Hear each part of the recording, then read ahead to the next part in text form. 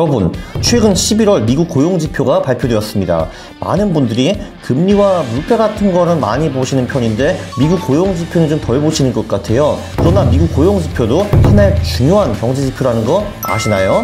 저와 함께 더 다양한 경제지표, 회계 기초 지표들에 대해서 배우고 싶으시면은 제 무작정 따라하기 VOD에서 함께 배워보시죠. 예! Yeah.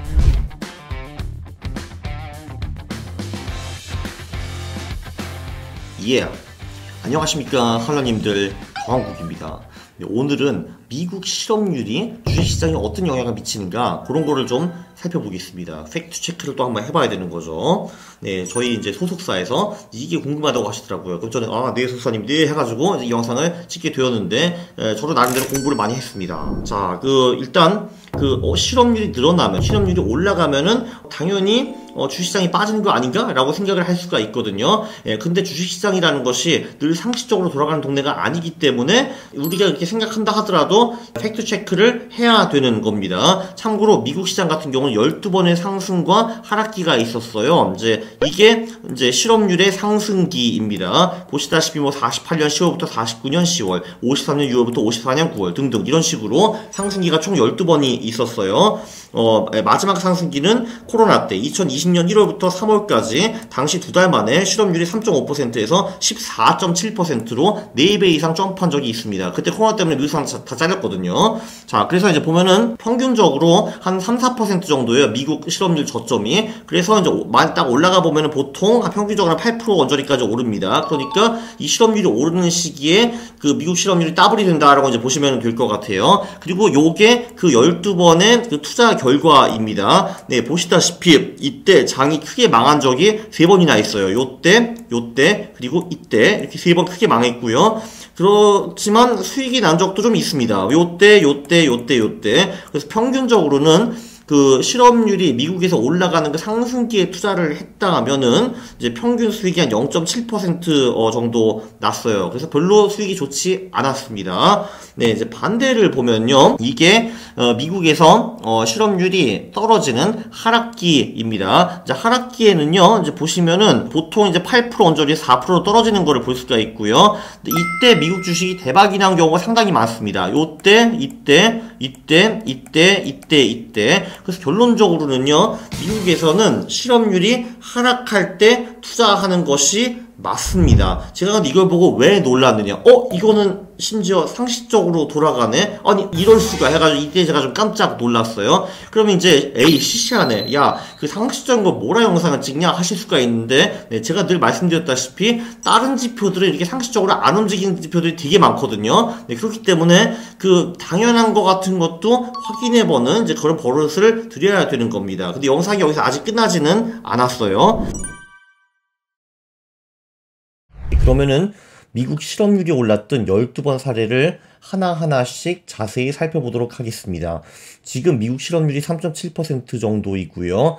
그 가장 낮았던 3.5%에 소폭 올라와 있는데 왠지 지금쯤 슬슬 미국은 실업률 상승장 추세에 들어가지 않았을까라고 추측을 하고 있어요. 보통 오르면은 한 두 배 정도 오르잖아요. 그쵸? 3.5에서 뭐 한 7%, 8% 이때까지 오를 것 같은데 네, 그 각각 사례를 한번 볼게요. 가장 먼저 1948년 사례를 보면 이때 실업률이 3.6에서 7.9까지 갔죠.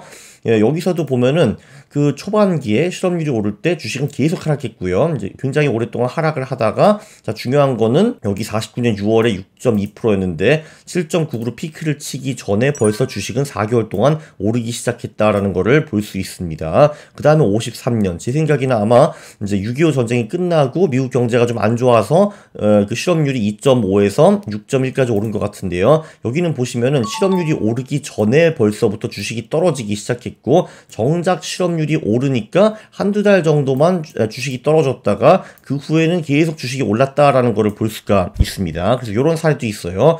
이런 사례가 어떻게 보면은 우리가 가장 그 원하는 시나리오죠. 왜냐면 우리도 지금 실업률이 본격적으로 오르기 전에 주식이 많이 빠졌는데 실업률이 진짜 오르기 시작하면은 주식은 더 이상 안 빠지면은 좋겠죠. 그죠? 이렇게 쭉 빠졌다가 실업률이 오, 오, 오르는 시점에 주식이 다시 오른 거를 볼 수가 있었습니다. 다음 사례는 이제 56년이었고요. 7%. 여기서도 실업률이 3.9에서 7.5까지 갔습니다. 여기서도 보시면은 실업률이 본격적으로 오르기 전에 주식이 이미 꽤 빠져 있었어요. 이때까지 좀 많이 빠져 있었고 실업률이 오르기 시작하니까 정작 주식이 오르기는 올랐는데 각 조금 반등하다가 일단 다시 좀 꽤 세게 빠졌습니다. 보면 여기서부터 여기까지 한 20% 정도 빠진 거를 볼 수가 있고요.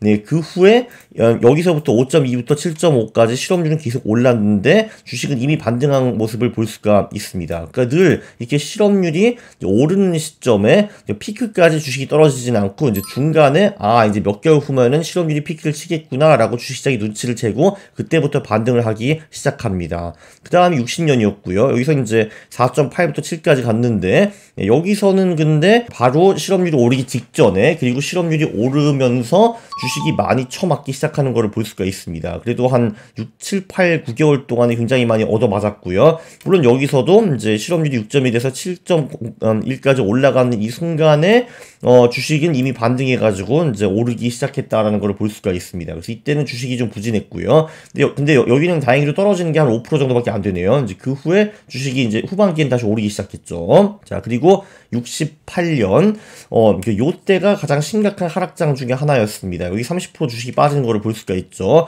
여기는 실업률이 이미 오르기 전부터 주식이 빠지기 시작했고, 오른 후에도 한 1년 정도 빠졌다라는 거를 볼 수가 있습니다. 우리가 지금 원치 않는 시나리오죠. 네, 여기서 빠진 후에 또 계속 이렇게 빠졌다라는 걸 볼 수가 있어요. 물론 여기서도 실제로 이제 실업률이 돌아서기 전에 벌써 주식이 큰 폭으로 오르기 시작했다라는 거를 볼수 가 있습니다. 그래서 이제 실업률은 이제 오르기 초창기에는 주식이 빠지는 경우가 많은데 이제 말기에는 벌써부터 주식이 돌아가는 경우가 굉장히 많죠. 이거는 아무래도 주식이 그 6에서 9개월 후에 경기를 예측하기 때문에 발생하는 현상인 것 같습니다.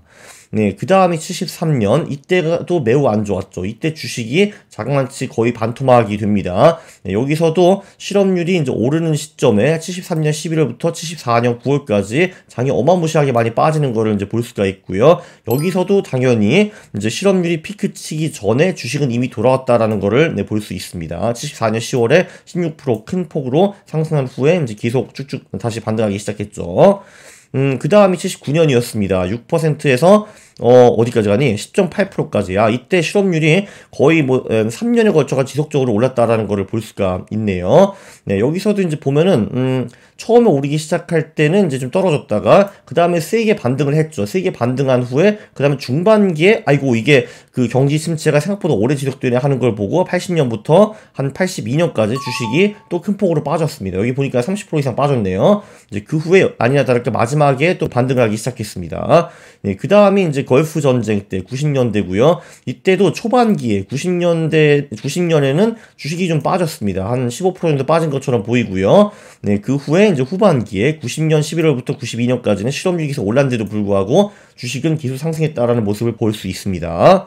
음, 그 다음이 이제 2000, 이때도 심각했죠. 네, 이때가 가장 심각했습니다. 이제 실업률이 오를 때 3.8부터 6.3까지 올랐는데, 야, 정말 2년 5개월을 걸쳐가지고 주식이 심하게 빠졌죠. 이때 이제 반토막이 되었습니다. 그리고 이제 마지막에 또 한번 이제 반등했다라는 모습을 이제 볼 수가 있고요. 어, 그리고 이제 그 다음에 이제 금융위기죠. 이때도 그 실업률이 오르기 시작하면서부터 주식이 많이 빠졌습니다. 1년 반 동안에 한 반토막 났죠. 여기 2008년에. 이런 게 있고요. 그 후에 미국 경제가 한동안 굉장히 좋았다가 코로나는 일시적으로 막 딱 두 달 동안 실업률이 올랐거든요. 두 달 동안 실업률이 올랐을 때 마지막 두 번째 달에는 이미 반등한 걸 볼 수가 있습니다. 그리고 이제 지금이 문제죠. 지금 네, 지금은 좀 특이한 게 실업률이 아직 본격적으로 오르지도 않았거든요. 이제 9월까지 계속 3.5%를 유지하는 걸 볼 수가 있는데 이때 벌써 실업률이 오르기도 전에 주식시장이 굉장히 많이 빠졌습니다. 한 25% 정도 이제 빠졌는데요.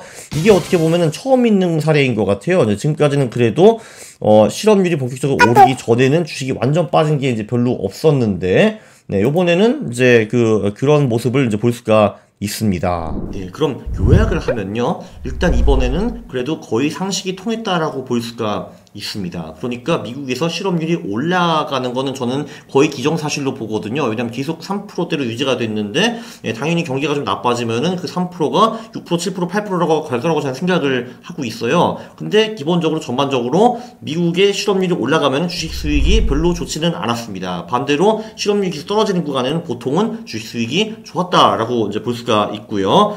어, 근데 이게 매번 그런 게 아니다라는 거를 우리가 엑셀표를 하나하나 보면서 배웠습니다. 그래서 사실 이런 거 할 때는 모든 사례를 이렇게 좀 깊이 있게 바라보는 것이 좋은 것 같아요. 그리고 여기서 또 굉장히 중요한 포인트는 실업률가, 실업률이 피크치기 4에서 20개월 전에 주식이 오른 사례들이 있다라는 겁니다. 그래서 평균적으로는 실업률이 피크치기 10개월 전에 벌써 주식이 오른다라는 걸 알 수가 있어요. 평균적으로. 네, 그래서 이번에 결론이 뭐냐 하면은 에, 저는 당연히 지금 그 미국 주식이 올해 계속 빠졌기 때문에 내년에 경기가 별로 안 좋을 거라고 생각을 합니다. 그러니까 이 경기 침체가 이제 오래 된다라고 치면 진짜 뭐 2, 3년 동안 경기 침체가 온다라고 하고 그중에 실업률이 계속 오른다 하면은 어, 지금 후에도 미국 주식이 추가로 더 빠질 수 있다라고 생각을 합니다. 근데 경기 침체가 그렇게 심하지가 않 않으면은 이미 올해 많이 빠져있기 때문에 그 추가 하락은 제한적이다라고 생각을 하고 있고요. 이번 장의 특이점이 뭐냐 하면요. 이제 조금 전에 엑셀 파일에서 보셨겠지만 보통은 실업률이 꺾인 아니 그러니까 실업률이 오르는 그 시점부터 그 전후부터 보통 주식이 많이 꺾이기 시작하는데 올해 같은 경우는 실업률이 안 올라갔는데도 불구하고 9개월 10개월 동안에 장이 막 신나게 빠졌다라는 겁니다. 20% 25% 그게 좀 특이해요. 그렇기 때문에